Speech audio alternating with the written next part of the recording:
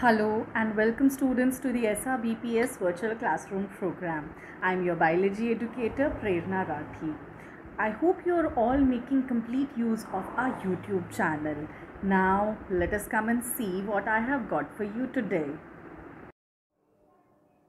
So students here we are after the detailed study of cells now we are going to deal with the detailed study of tissues where we will discuss one by one the plant tissues and animal tissues we will see what are tissues how they are made and what is their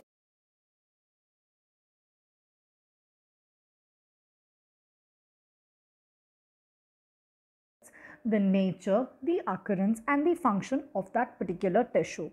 Let's start and discuss the various levels of organization in an organism or in a living organism. What happens? The basic structure is a cell. We've already learnt in the previous chapter. Cell is the basic structural and functional unit. For example, a nerve cell, an epidermal cell, a guard cell or you know any other plant cell for that matter.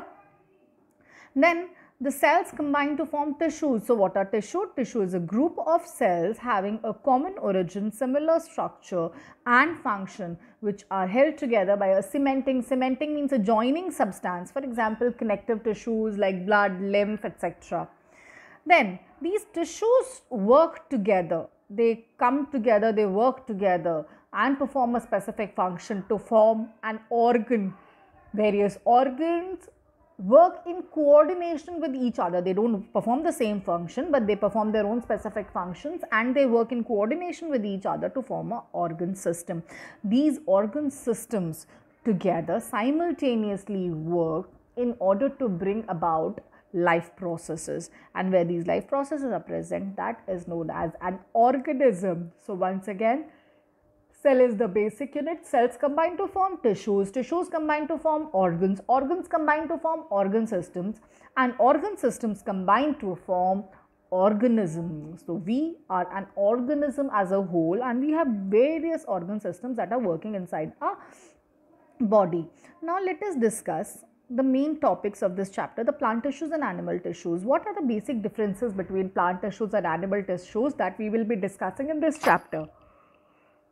Plant tissues have you know abundant amount of dead supportive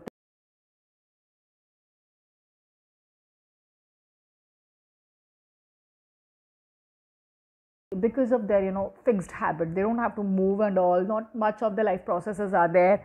That is why the energy requirement is low whereas the energy requirement of animal tissues is quite high. The differentiation in plant tissues is into meristematic tissue and uh, permanent tissue whereas there are no such meristematic or permanent tissues present in animals. The organization of plant tissues is pretty simple as compared to the animal tissues. The tissue organization in plants is subjected towards a stationary habit of life whereas the animal tissues promote mobility of animals. So it is basically for the mobility of animals. Let us now discuss the plant tissues in detail. Plant tissues have been categorized into two categories, the meristematic tissue and the permanent tissue. The meristematic tissue children, you have to discuss only this, the upper part that is, they are of three types, the apical meristem, intercalary meristem and the lateral meristem. We are going to do the details later.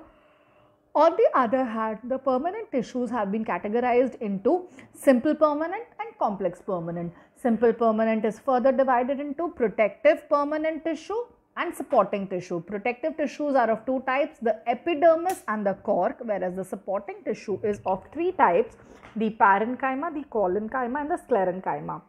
The complex tissue is also known as the conducting tissue has been further divided into two categories that is the xylem and the phloem.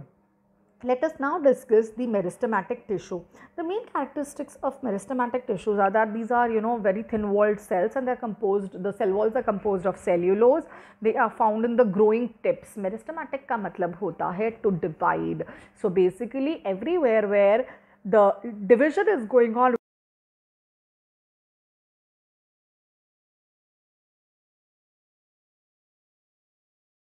of the node, internode and the leaf.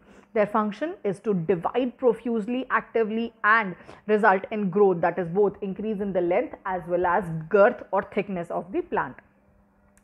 The meristematic tissue my dear children has been divided to three categories the apical meristem जो apex पे present है, या तो shoot tip पे, या root tip पे, या branch के टिप पे प्रेजेंट है they are located at the growing tip of the stem root branches young leave everywhere okay what is the function to increase the length of the plant on the other hand intercalary meristem कहाँ present है? Internodal area में, जो internode का reason होता है, जहाँ दो branches निकल रही होती है, दो नोड्स के बीच बीच में क्या प्रेजेंट है? इंटर कैलरी मेरिस्टम ये क्या करता है? It increase the length of the internodal area last is your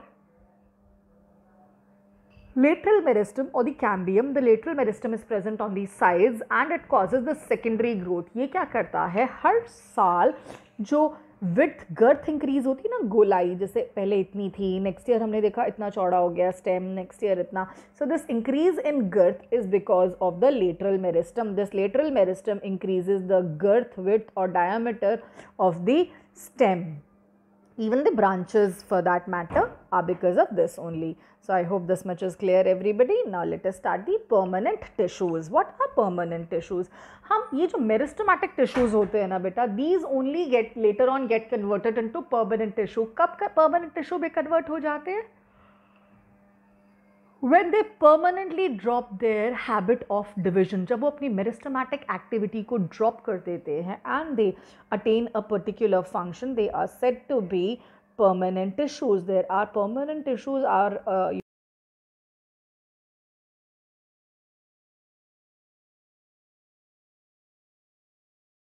whereas complex permanent tissue is made up of different type of tissues coming together Types of permanent tissue let's start with the protective tissue protective tissue has been categorized uh, into epidermis and cork the main function is basically where kahan pe milta hai surface of the roots pe milta hai stem pe leaves pe thick walls hoti hain ye mechanical injury or pathogenic invasion से बचाता है epidermis जो epidermal cells होते हैं दो दो cells are elongated and flattened and there is no intercellular spaces बिल्कुल continuous cells होते हैं. We can not afford to have any space between them they are present in the outermost layer of leaves flowers stem and roots wherever the protection is required it protect from desiccation the word desiccation stand for dehydration plant को सूखने नहीं देता और उसको किसी भी pathogen के infection से बता, बचाता है. देन कॉट सेल्स ये कॉट सेल्स क्या होते हैं? ये डेड सेल्स होते हैं. Basically we learn here only sclerenchymatous tissue होता है, जो पेड़ की छाल या बार्क होती है, उसे हम कॉर्क कहते हैं। रेक्टेंगुलर सेल्स होते हैं वैक्यूलेटेड आउटर मोस्ट लेयर बनाते हैं। एपिडर्मिस के भी बाहर प्रेजेंट होता है। ये भी डेसिकेशन से इन्फेक्शन से मैकेनिकल इंजरी से प्रोटेक्ट करता है। So both of them are protective in nature then we have the supportive tissue of plants the first supportive tissue is parenchyma parenchyma क्या होता है? आइसो डायमेट्रिक सभी ऑलमोस्ट सेम शेप के cells होते हैं। स्फेरिकल भी हो सकते हैं इलांगेटेड भी हो सकते हैं थिन वॉल्ड होते हैं और कोई हार्डनिंग नहीं होती है इनकी वॉल्स में। ठीक है the mainly present in the soft parts of the plant cortical region of the root stem जहाँ पर भी सॉफ्ट पार्ट होता है, वहाँ पे क्या प्रेजेंट होता है? Parenchyma the function of parenchyma is to support and maintain the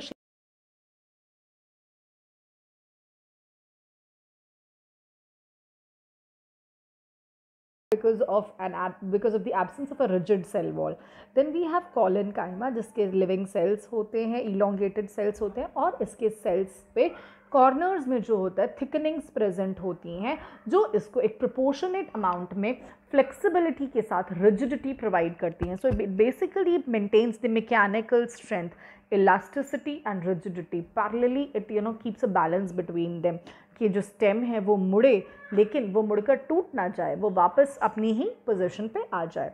then there is sclerenchyma sclerenchyma is all dead tissue elongated narrow fibre like cells होते हैं। The cells are died, dead and they are pointed towards the end. There are two types basically. There are sclerids and there are fibers. Sclerids are not very round but the fibers are very uh, elongated cells. Okay.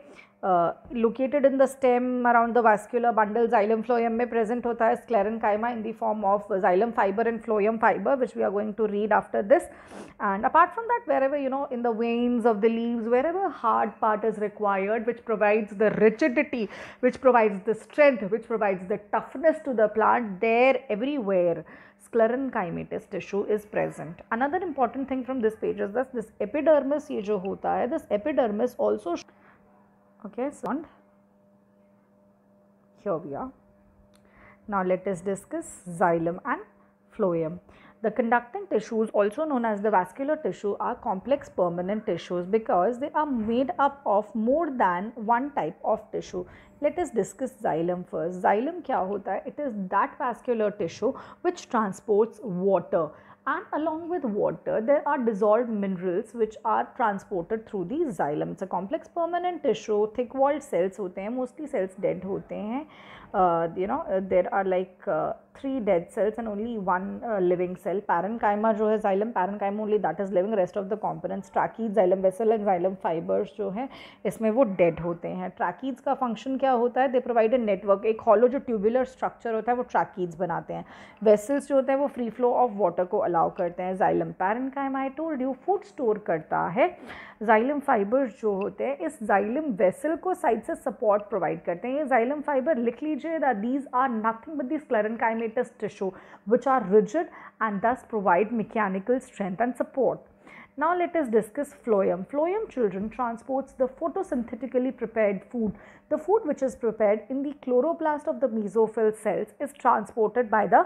phloem Phloem has three living component and only one dead component. The living components consist of sieve tube cells or sieve tubes, companion cells and phloem parenchyma. The sieve tube cells basically help in the organic uh, substance transport, basically glucose का transport कराता है. On the other hand, companion cells जो होते हैं ये control करते हैं sieve tube cells के function को. Phloem fiber again mechanical strength provide करते हैं.